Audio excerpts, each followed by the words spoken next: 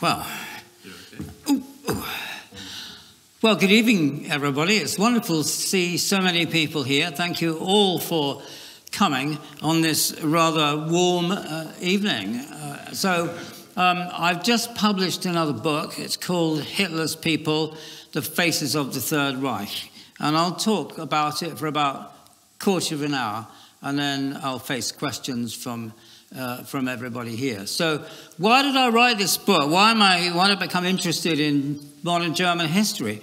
Well, I am, as you may see from my greying hair, a baby boomer. So, uh, I was born after the war, a couple of years after the war ended, and my parents were Welsh. In fact, they learnt English as a foreign language in, in Welsh schools, and then moved to London separately because there were no jobs in their 30s. Uh, and we lived on the fringes of the East End, so we went to Leytonstone, Hackney, Walthamstow, and so on quite frequently. And I was astonished as a child in the 50s and early 60s to see all the bomb sites, the kind of rows of terraced houses with sudden gaps in them, like missing, missing teeth in someone's mouth. And on the top floors, very shockingly, and I remember vividly, there, were, there was the wallpaper, strangely intimate, the bedroom wallpaper the debris had all been cleared away, but, but, but there were the gaps, the evidence of bomb damage. And so, of course, I asked as a child, well, who did this? Why did they do this? And, of course, the answer was, well, the Germans did it, the Nazis did it. And that then stayed in my mind. And when I got to, I'm sorry to say, Oxford, uh, as an undergraduate, uh, in the late, mid to late 1960s, German history and German historians are just waking up after two decades of amnesia where they tried to forget the war, and we're just starting serious work. It was a fantastically exciting time to be a historian working, and so I was drawn into working on modern Germany. And it was also a time when social history, with the great British Marxist historians, Eric Hobsbawm, Edward Thompson, uh, and, and all the rest of them, were producing their work, having left either really or in, in spirit left the Communist Party. So uh, there were new methods that were available, new perspectives, and so I did my doctorate on German history, long-term origins of Nazism, which was the big topic in those, in those days. Uh, and so, of course, when I got a job, uh, a university job, it uh, was an obvious thing to teach. As those of you who do history will know that you do the final year as a special subject, which is document-based, and the only modern German history subject where there was enough documentation in English translation was Nazi Germany. So from uh, that time onwards, from the late 1970s, I began teaching that. And so uh, that's how I kept up with scholarship on Nazi Germany. And then towards the end of the 1990s, I was asked to be an expert witness in a court case brought by the writer David Irving against the American historian Deborah Lipstadt, uh, who had written a book called um, uh, Denying the Holocaust, The Growing Assault on Truth and Memory. So I'm just making sure this is off. Uh, yeah, The Growing Assault on Truth and Memory. She'd accused him uh, of being a Holocaust denier and a falsifier of history. So he brought a libel suit against her for exemplary damages because he wasn't a university historian, anything like that. He lived entirely off his publications. So uh, I was asked to be an expert witness. Uh, and if you're an expert witness, you, your duty is to the court. Uh, you have to sign an affidavit saying it doesn't matter who pays you, and you're paid by the hour, uh, so it doesn't matter. I mean, the uh, defense, Lipstadt's defense, could not have turned round had I concluded that Irving was a wonderful historian and didn't tell, didn't tell any lies at all um, they'd still have to pay me because it's by the hour anyway. So uh, if you want to know about that uh, trial, there is quite a good movie called *A Denial, uh, starring Timothy Spall, Tom Wilkinson, and Rachel Weisz, um, uh, which is about the court case. I'm played by an actor who I'm afraid should have lost weight before he went in front of the cameras. Uh, but it's by and large generally quite faithful to the spirit and the letter of the trial. So uh, it's, uh, uh and that then uh, led me, led the lawyers, the lawyers for the defense, including Richard Rampton, to say, could I recommend a good, solid, detailed history of Nazi Germany? And I had to say I couldn't really, because the really good ones like Karl Dietrich Bracher's, the German dictatorship, were a bit out of date. They're still worth reading, but on the modern ones, and I won't name any names here, the modern ones were actually not terribly good. So, uh, as is the way of things with us historians, I decided to write one myself. And it was going to be one volume, uh, and then it became two, and ultimately three. And of course, uh, appeared far too late to be of any use at all for the lawyers who are in, in the trial. Uh, but it was an extraordinary experience, and one of which I'm, uh, I'm really grateful I was allowed to take, take part in. Uh, after that, I, I don't know, I, you know, historians who spend their lives working on the Nazis and the Holocaust, it's not something I could do. I, I you know, I did those three volumes, uh, and of course, they came out of my teaching on, Nazi Germany, so I was able to produce them quite quickly. But then I turned to other subjects, in particular, a, story, a history of 19th century Europe in general, excuse me, a rather more cheerful topic, uh, and a couple of um, theoretical works, including one about alternative counterfactual history. And that takes us up to 19 to uh, 20, 2019, 2018, and I was asked to be a talking head, as the phrase goes, in a uh, TV series called Rise of the Nazis, uh, and it was um, nine parts, and it consisted of uh, mixture, it's hard not to do this when you're doing a, a, a topic on recent history, uh, a mixture of archive footage um, and uh, reenactments, which are quite cleverly done, so nobody said anything in the reenactments. Incidentally, they were all filmed in Lithuania because, uh, that, because it's very cheap to get actors there. Uh, and then um, talking heads like me. And there's a mixture of people like me or Richard Overy or uh, Christian Goeschel and uh, people who were uh, not specialists. So, like General Sir Mike Jackson, who you might have noticed just died, he, as it were, represented Hindenburg, both soldiers.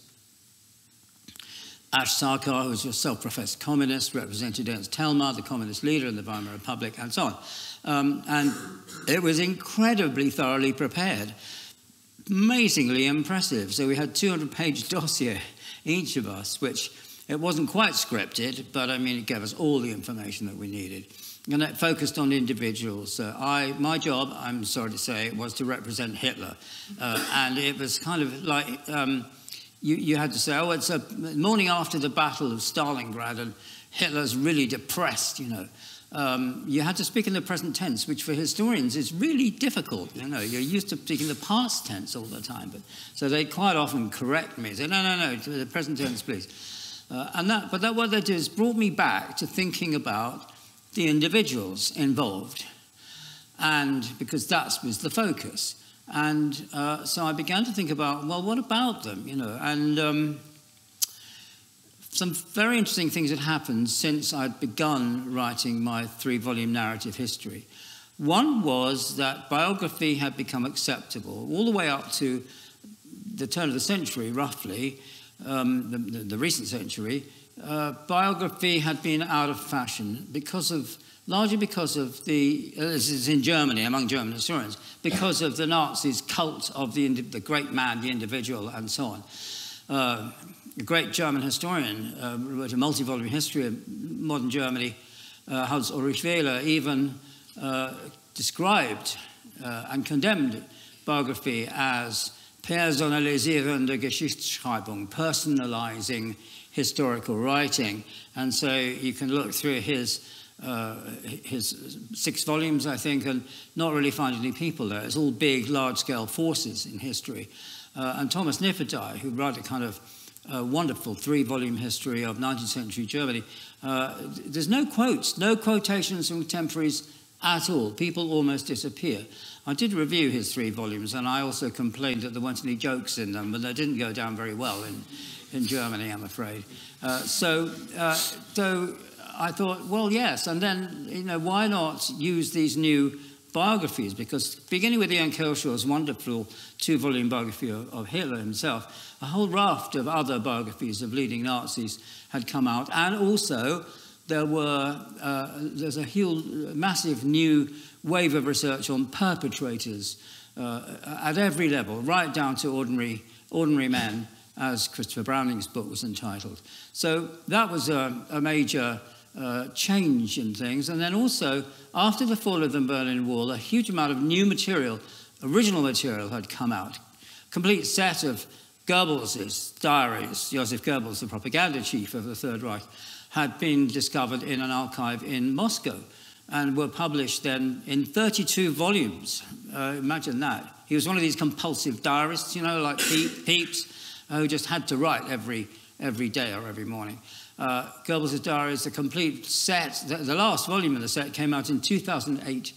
Uh, there's a complete set, or a complete uh, set of uh, the Nazi ideologue Alfred Rosenberg's diaries came out in 2015.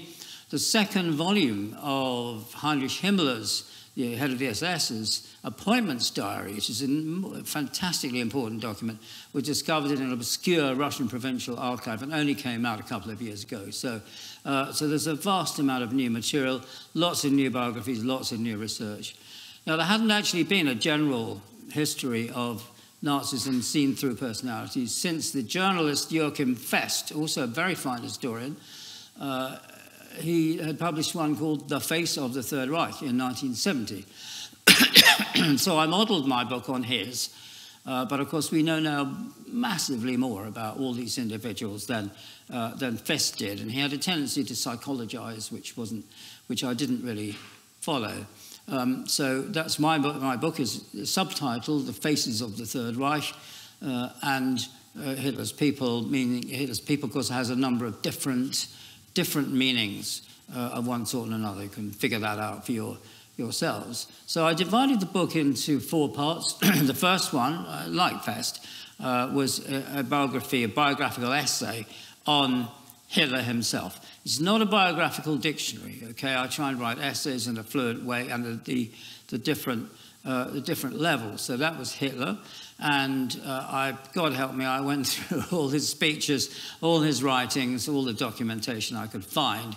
Uh, and one of my tutors was Martin Gilbert, who was at Oxford, who was what the, uh, became the official biographer of Churchill. Uh, I, uh, I was his last undergraduate pupil, not, not because I was so unbearable that he gave up after that, but uh, actually because he was appointed Churchill's biographer just towards the end of my stint with him.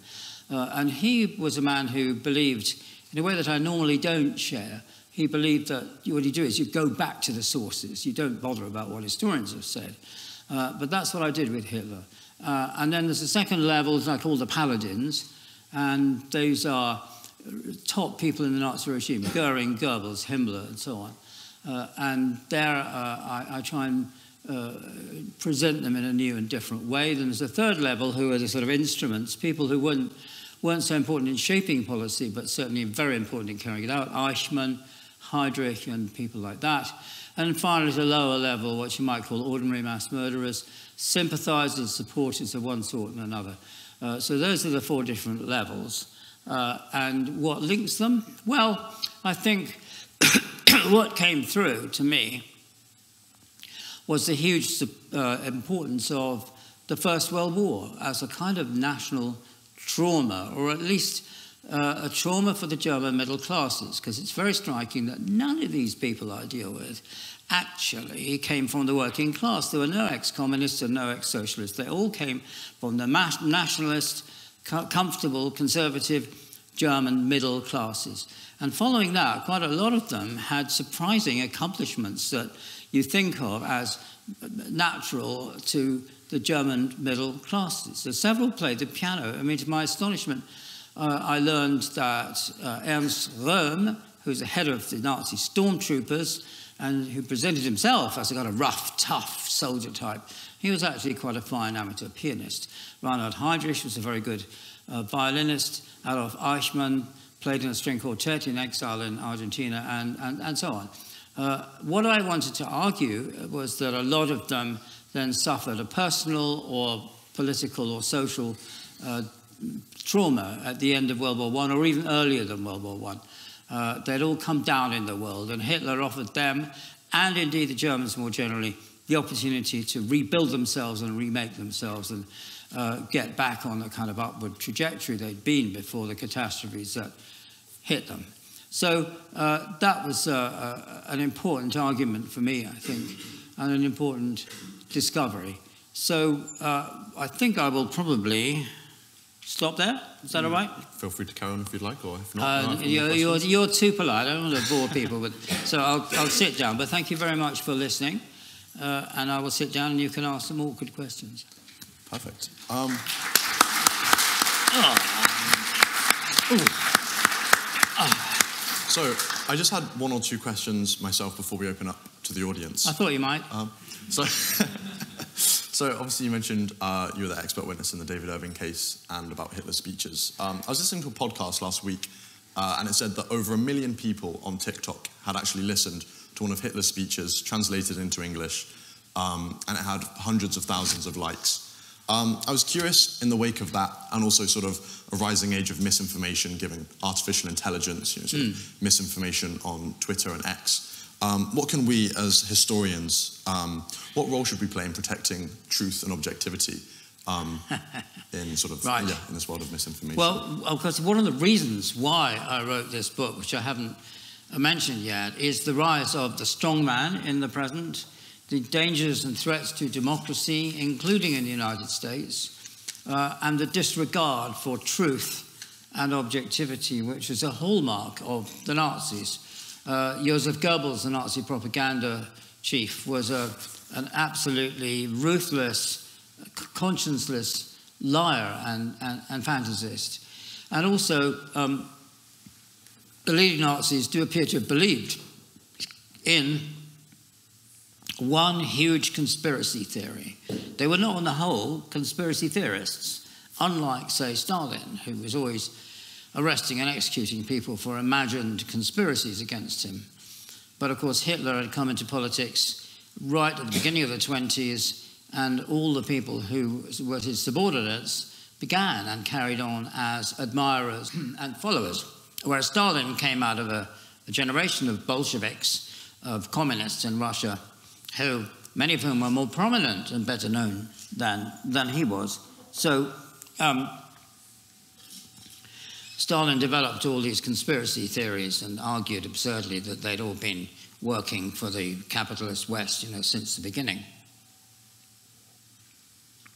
The one big conspiracy theory that Hitler espoused, and with him, partly under his influence, partly on their own, his followers believed in uh, the vast conspiracy theory of anti Semitism. And it's important to understand this because their belief was that Jews all over the world, and they meant here Jews by race, not by religion. So, in a, in a sense, if you were a Jew who became a Christian, you were even more dangerous than, than otherwise because you, you know, more difficult to tell who you were.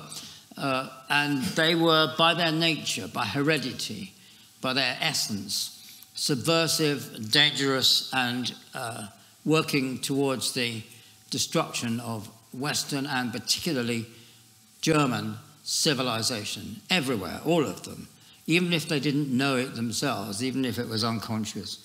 Uh, and so that is what Hitler believed in. And of course, that kind of narrowed down to the belief that the Jews had caused Germany's defeat in World War I, this great national trauma, because they had fomented uh, discontent in the army and, and on the home front uh, and stabbed the army in the back. The truth, of course, was that the army was defeated militarily on the Western Front in particular, but also uh, on the Southeastern Front as well.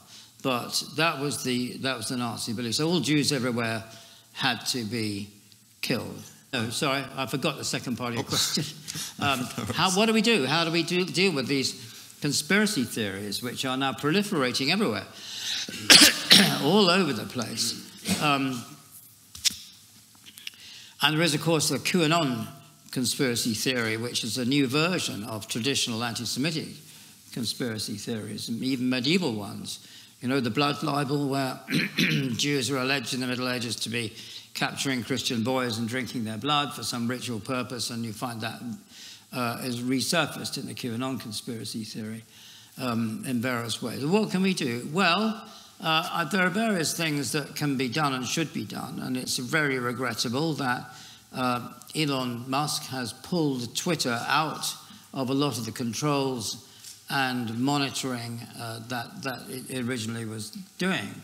And so is allowing absurd conspiracy and dangerous conspiracy theories to proliferate. One of the things the internet does is to bypass traditional gatekeepers of opinion, newspaper, magazine editors, uh, TV and radio producers, and so on.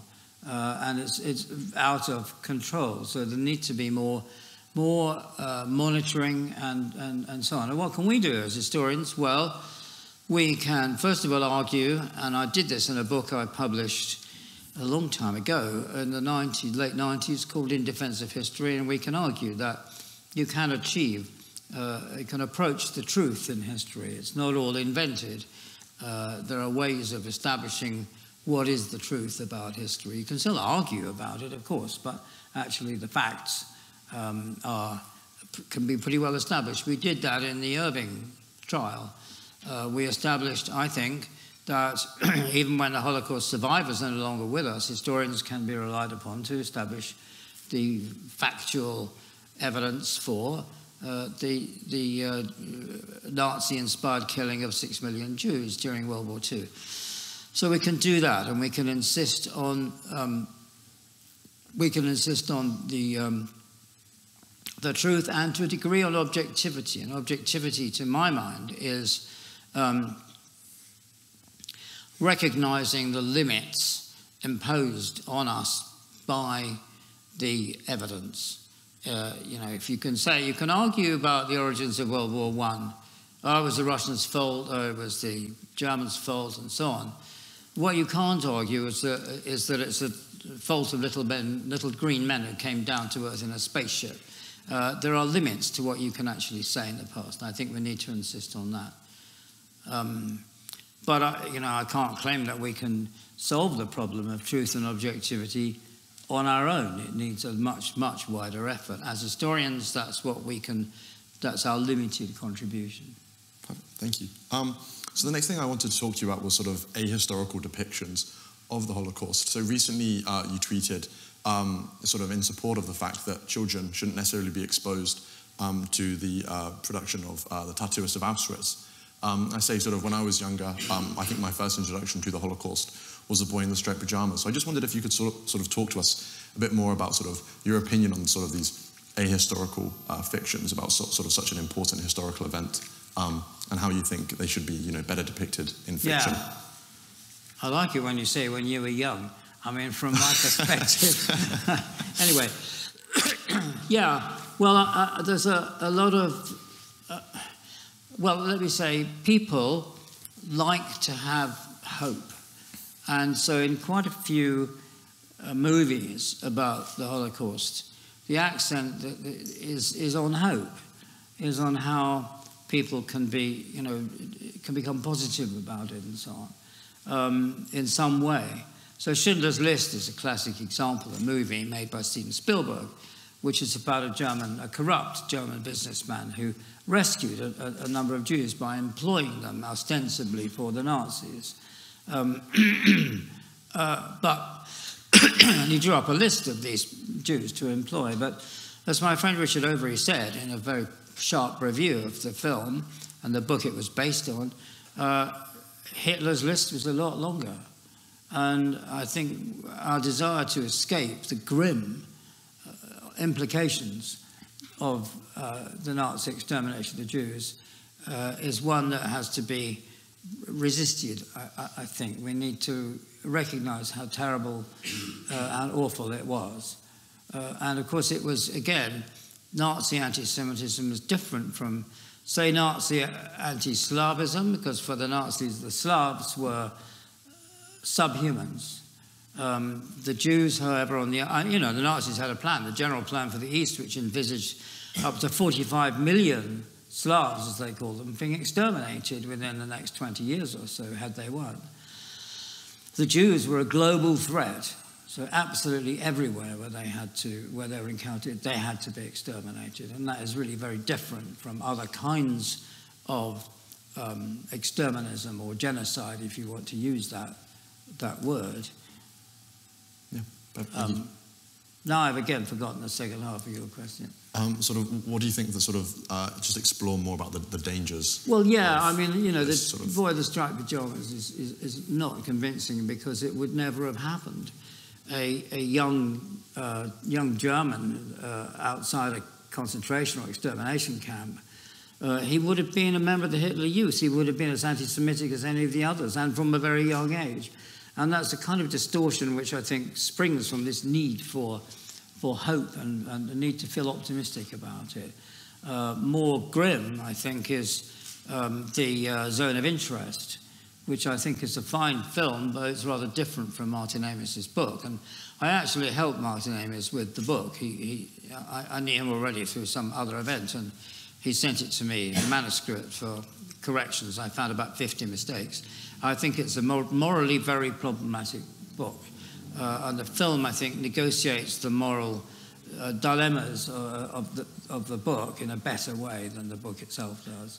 But uh, it's, um, you have to be very careful when dealing with this subject not to distort uh, perspectives in order to give readers or viewers some kind of optimism or hope which the subject doesn't really allow. Thank you, that's very insightful. I think now we'll turn to uh, questions from the audience. Um, so uh, if you'd like to sort of ask a question, raise your hand. You got a roving um, mic? Uh, what's that? Got a roving mic? Uh, do we have a roving mic? No, no roving mic. So you just need to speak up. Uh, Shout, and, and, if yeah. so, I can repeat the question. Okay, uh, I can see a hand just there at the back. There we go. Oh, yeah, yeah, you. Oh, next to Lee. Yeah, Ed. Yeah, no worries. You'll have to repeat this to me. No worries. Um, as, as you say, your, kind of your history and your interest in history started with the, the Second World War and with German history starting from that point. And what can be often problematic with modern German history, particularly focusing on the Second World War and on Hitler, is that it goes back in time and it approaches German history in the long view with kind of that as the end point and can always often present World War II as if it was to some extent inevitable or as if there was some kind of ingrained cultural explanation. Uh, you mentioned Hans Ulrich Wehler, for example, with his Sonderweg, which can tend towards that and I think to some extent stories like Orlando Figes make a similar kind of fallacy when looking at the Russian Revolution, for example. Um, so how, as a historian studying primarily uh, the period of World War II and Hitler and the Holocaust, as you talked about, do you approach history in a longer view that doesn't kind of predetermine that outcome and doesn't kind of narrowly focus just on that as, as a way into German history? Yeah, that's a really good question. I mean, uh, uh, that's okay. I'll yeah, yeah. follow that. Okay, perfect. Um, you can. Um, when you're arguing about the origins or causes of something, it's very difficult to, to avoid giving the impression that whatever you're, whatever you're writing about was inevitable, right? Um, so I think you always have to point out the chances and, and chance circumstances that intervened at many different stages. Um, uh, during and immediately after the war, for some time, the Nazi phenomenon used to be seen as the inevitable culmination of German history. And there were books that went back to and argued that uh, to um, Luther to Hitler kind of thing. You know, the Germans are pre-programmed to become uh, Nazis. And the point about the problem with that is that um, they're, they're, they're, kind of selective, so they just pick out things in the past that look as if they were going to lead to the Nazis and they lead everything else out. And even in the 90s, the 1990s, uh, uh, uh, Goldhagen, the so called Goldhagen debate, argued that being anti Semitic, murderously, exterminatory anti Semitism was hardwired into the very notion of being German. And the problem there is that, uh, first of all, the most, most the Nazis ever got in a free election, a free national election, was 37.4%. So nearly two thirds of Germans voted against the Nazis. In fact, in the November 1932 elections, the last free elections of the Weimar uh, uh, Republic, the communists and the socialists together got more votes than the Nazis did. And the communists and the socialists were not anti Semitic. Uh, so that is a, that's a real problem. And then you kind of reverts to history and you have to start explaining how and why it was that the Nazis came to power in historical terms, not in the uh, kind of by some kind of innate desire of the Germans to have a strong leader, which is just really uh, you can understand people saying that during the war, but not not now. I think it's all very different, and we've tended to now, rather than trace back Nazism and its ideology into German history, we've tended to look at broader influences. Gobineau, the French uh, racial theorist, for example, of the 19th century. Um, we've looked at English, British social Darwinism, a version of which was espoused by Hitler. There are multiple different origins and different influences on Nazism. The synthesis of Nazism was unique, but the bits that it put together were not, and they weren't just German. Uh, and we, I had a long, I mean, I became great friends with this historian, Hans Ulrich Wehler, but uh, because we were kind of like sparring partners, you know, uh, and he always saw the long-term origins of Nazism in, in German history, and he saw the Kaiserreich, the emperors, the Kaiser's Germany, as a kind of antechamber to the Third Reich. And similar arguments have been raging about the Weimar Republic. I've just written a review of a book about the Weimar Republic. It should be out in the Times Literary Supplement the next couple of weeks, maybe. Um, and historians have valiantly tried to rescue the Weimar Republic as a, a period of achievement to be celebrated and not just uh, a litany of failure to be blamed for the rise of Nazism. So these arguments continue. We cannot possibly, of course, look at um, the, the past without knowing what happened afterwards. And so, well, we can't erase the memory of what happened between 1933 and 45 from, uh, from our accounts of the years of 1918 to 1933, still less from 1871 to 1918. But we can uh, try and get a more balanced view, I think, than simply regarding it all as the antechamber of the Third Reich. Thank you. Uh, another question? Uh, we'll just go uh, just there. Yeah, yeah, yeah, yeah, yeah. Just. Yeah, yeah. Hi, yeah. Um, Oh, you got a mic. Look, fantastic. I'm near the front though, so. Have you switched it on? Is it? Okay, I suppose. Anyway, um, this question has a little to do yes. with Katja Hoyer, who I saw in London last month at National Liberal Club, and she mentioned being cancelled, quote unquote, for um, interviewing East German border guards, East German guards on the Berlin Wall in yeah. her latest book, Beyond the Wall. And to my impression, it's already become possible, as it were, to write from the perspective of Nazi soldiers or those who are military involved in the regime. I'm thinking above all of Sönke Neitzel in Soldaten and also latterly now in Deutsche Krieger, which, if you're a sparring partner of Hans Ulrich Wehler, I don't know how you feel about Sönke Neitzel, but um, I suppose I was just wondering when you think it might be possible to write from the perspective of these German soldiers or those militarily yeah. involved in the regime in the same way that we can now do for the yeah, Nazis. Well, Is it just a matter of time? Yeah. Or, yeah. Absolutely. So history is about, among other things, that it's about to try and it's about the attempt to understand other people who are separated from us, first of all, by time. And you know the famous opening to L.P. Hartley's, the novel The Go-Between, the past is another country, they do things differently there. And we have to try and bridge the gap and not assume that people in the past were just like us. And then, of course, you, when you're dealing with another country, as I've dealt through my life with uh, Germany, you've got that double distancing factor. And the historical imagination is, was absolutely crucial for bridging, bridging that gap. And that's why history is not about moral judgment, it's about understanding and interpreting. It's not about condemning the past. And it always annoys me when politicians say, history will judge me.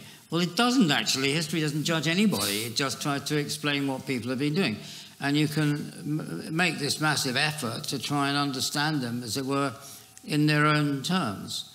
Uh, and that, of course, clashes then by because we have a different perspective on, on what they were doing. It's one of the great intellectual challenges. Thank you. Uh, another question? Yeah, just here at the front again. Up, yep, you, you, I mean, yeah. we have massive amount of evidence. You know, we've got trying to understand the Nazis. We have a huge amounts of their writings, descriptions of what they did, their interrogations and post-war trials, all of those kinds of things. We've got a massive amount of information which we can use to try and understand them. And it's not true uh, to say, as a French historian did notoriously, to understand everything is to excuse everything. That's not true at all. Yeah? Forgive me if you've answered this question in the third book of your trilogy. I've only reached the second so far. Um, I got the impression from reading um, Wages of Destruction that the Nazi uh, obsession with genocide to not only the Jews, but the Poles, the Ukrainians, Belarusians, the Slavs, made them rather inefficient conquerors. Would you agree? Well, okay. The, I mean, first of all, the different kinds of levels of genocide. So, as I said, the general plan for the East envisaged uh, genocide on an almost unimaginable scale of killing 45 million or allowing to die 45 million so-called Slavs just because they were Slavs. Um, the, the genocide of the Jews is something rather different because they were regarded as a massive threat. You know, it's one of, there's a wonderful Warsaw Ghetto joke, and there are such things, um, which uh, from the Warsaw Ghetto, you know, they, an elderly Jew comes onto a tram and he sees his friend reading the Nazi paper, the Völkischer Beobachter, the racial observer, uh, and, and so, you know, they're, they're living in absolute miserable poverty, starvation, beatings, and so on. And he says to his friend, Why are you reading a Nazi paper, for goodness sake? Why, you know, why are you doing that? And his friend looks at it and just says, Well, once every week I buy this paper to see uh, how we are, we Jews are ruling the world. We are in the charge of everything. You know, that's why. So um, it's, it's a different order of things. And you find that in the behavior of German soldiers as well as the SS. There's a desire there to humiliate, humiliate the Jews they come across, not just to kill them. So, mm, so there are there are differences there, uh, I think. Have I not? answered? I don't think I, have got a feeling I haven't answered your question. What was the last bit of it? Uh, did that make them inefficient no. conquerors? Sorry? Did that make them inefficient conquerors of land? Well, there was an argument. There were arguments. Yes, it did. I mean, because there, there was an argument. Hans, Rose, um, Hans um, Alfred Rosenberg, who was the uh, ideologue of Nazism, a great anti Semite, but he was made minister for the occupied Eastern territories. And of course, if you think about Ukrainians, Belarusians, people who lived in the west of Russia, and so on, uh, they had been um, under Stalin's iron rule for years. And so when the Germans invaded in 1941, they, people from villages came towards them and, and, and offering them the traditional bread and salt, and uh, they were ripe for conversion, as it were, for making, making them into useful assistants and, and aid to the Nazis. And Hitler was having none of this. He just said they're, they're subhumans, they are to be cleared out of the way. And there were quite a lot of arguments within this, which naturally, of course, Hitler won, and these people were exterminated in large numbers. So, uh, and very, in a very short space of time,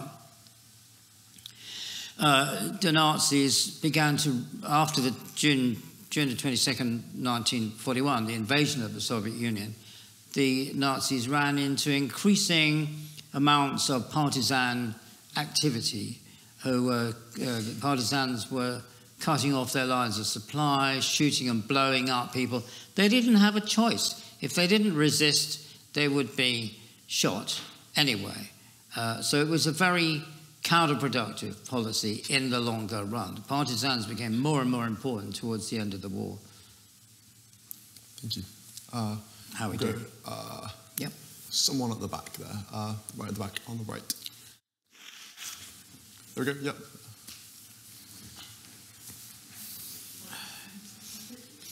Thanks. Uh, thank you. Um, my question is on your analysis of Nazism as a phenomenon that preponderantly happened among um, the middle class. Um, my question is to what extent would you say that this is influenced by, and it's different to an analysis of Nazism, more influenced by Marxism? That one I didn't quite understand that. Sorry. Um, yeah, sorry. No, so I was just curious. I would like to um, know more uh, of. You say that there is a crucial class element in Nazism, that most of their leaders come from one specific class. Um, I guess in general, it would be interesting to hear how is it that this understanding of class is still different from the understanding of class given by how Marxists uh, analyze the phenomena of Nazism. So, what was the question? Um, I, I, think the difference of uh, sort of your understanding of class and why sort of you know sort of Nazis uh, were dominated by the middle class. How is that different to Marxist theory of class? Was that? Well, you can't. Unfortunately, you can't explain uh, Nazism in, in Marxist terms at all. Um, it used to be thought, for example, it was um, a creation of capitalism, and particularly big business, in, in, in, a terrible crisis in the Depression. But it turns out not to be the case at all. Big business in Germany did not support the Nazis until they had come into power and until the 5th of March elections. Otherwise, big business hedged its bets uh, and supported various various parties on the right, uh, some of them to absolutely no effect whatsoever. It just happens to be the case that uh, these, all these people I look at in this book were, came from solid middle class, conservative nationalist political parties. Now, it doesn't mean to say there were no working class people in the Nazi movement, of course. Uh, similarly, unemployment. Now, the party of the unemployed was the Communist Party, which kept on growing even when the Nazis began to decline in November 1932. Um, but uh, Nazism was a kind of, it's been called a catch all party of protest, and the, uh, the, you know, it's more than 50, it's a huge, it's like 35% unemployed, and probably a lot more than that because of women. Women tended not to register as unemployed when they lost their jobs in the Depression. Uh, but it's a huge, uh, massive unemployed. unemployed. So, um, of course, quite a few Nazis were unemployed and also came from the uh, unorganized working class, so working class who were not part of a trade union movement or the socialist movement. Um, what's crucial is the, the impact of ideology, and you have to look uh, for ideology not as the expression of class interests, but, but as, uh, as a force in its own right. Thank you. Uh, we'll go uh, just at the front. Yep, just. Uh, so I believe it's your opinion that the Nazi maintenance of power is primarily down to coercion and consent following the dark era of World War One and the failure of Weimar. However, I was just wondering, on your opinion on how much terror plays as a factor of uh, maintenance of power and how you can measure terror as a factor and its effect over the German population? Yes, uh, interesting question. So um, it, it, was argued about 20 years ago now by historians like Gert Sahle and Eric Johnson um, and uh, uh, Robert Gellately that the Nazis did not need coercion or threat or intimidation or violence to come to power. And that's simply, I'm afraid, not borne out by the evidence.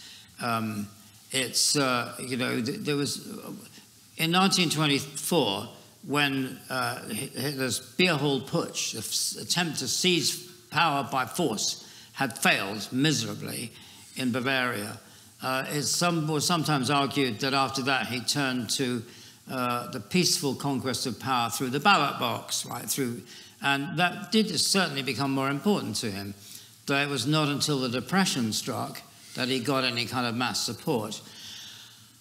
But that was a parallel to continued and expanding and deepening violence against his enemies. So you've got the violence on the streets, and then you have propaganda campaigns at the ballot box in, in elections.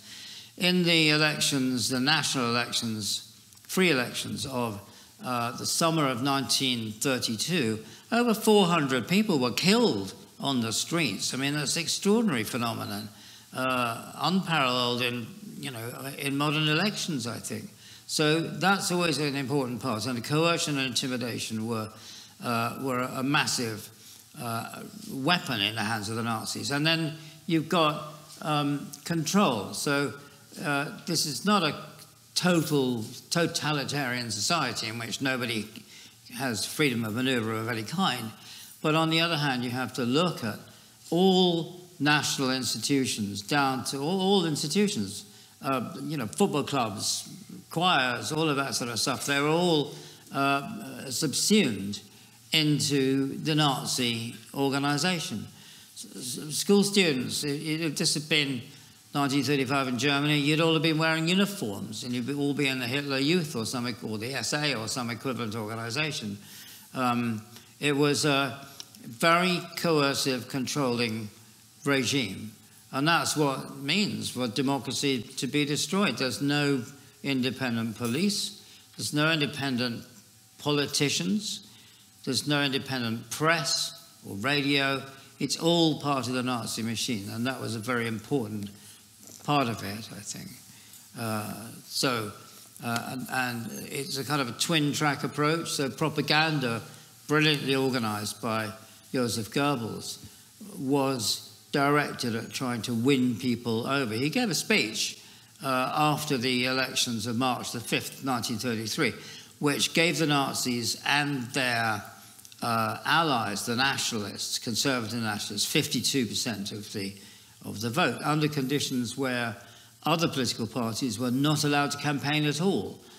And Goebbels said, uh, well, this is great, but you've got 48% of the electors have not supported us, and we must make sure that we can win them over. We cannot, it's quite open about it, we cannot just bludgeon them into silence. We have to get their support.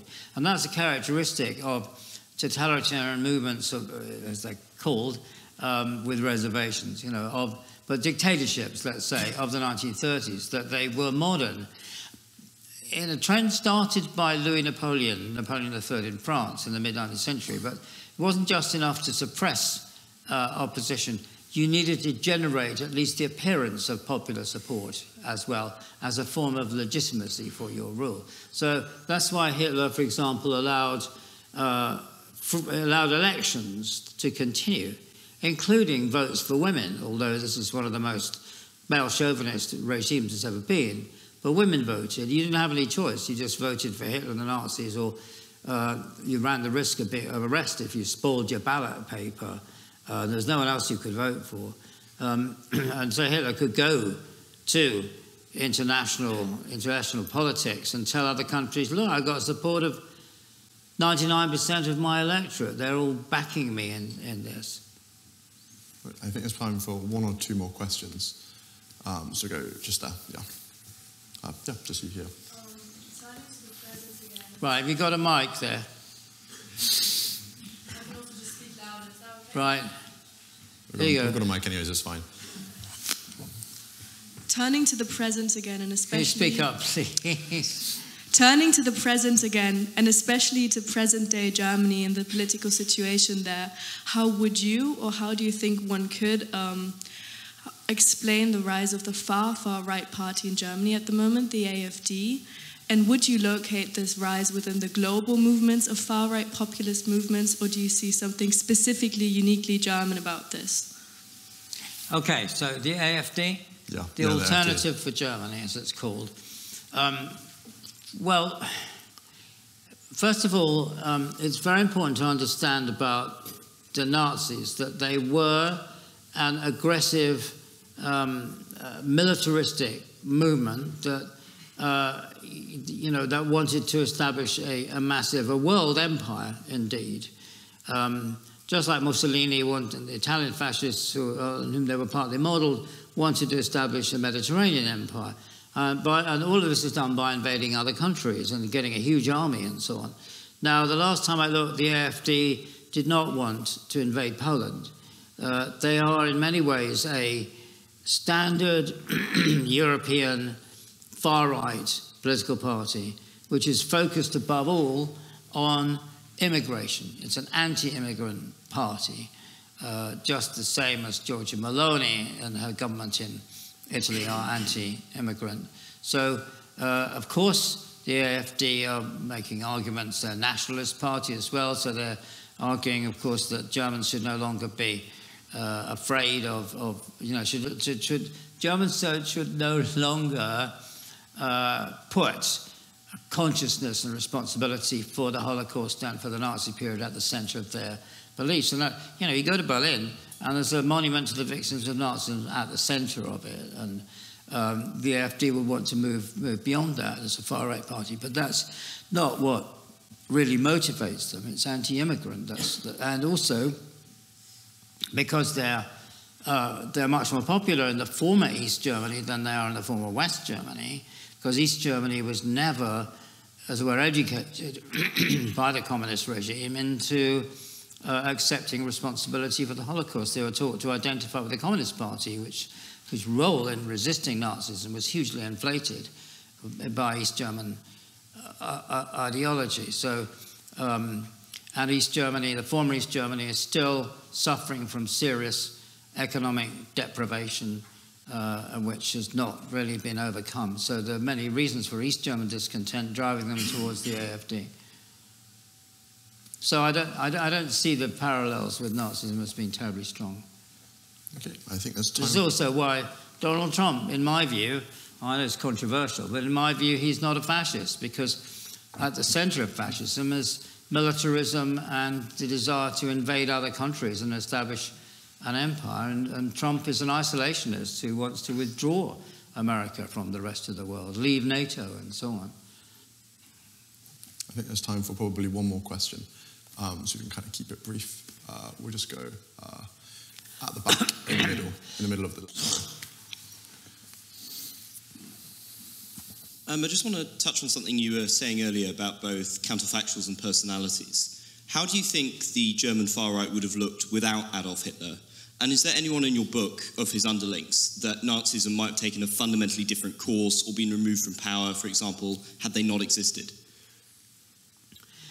Uh, no. So Hitler had absolute control and, and, you know, over the Nazi movement from the very beginning. That's why, as I said, he was loyal to his subordinates and they were loyal to him. The only real alternative to Nazism in 1932 to 33 was a military dictatorship by the army, who certainly, although they were restricted to 100,000 men, they were certainly very well trained and, and well equipped within the terms of the Treaty of Versailles.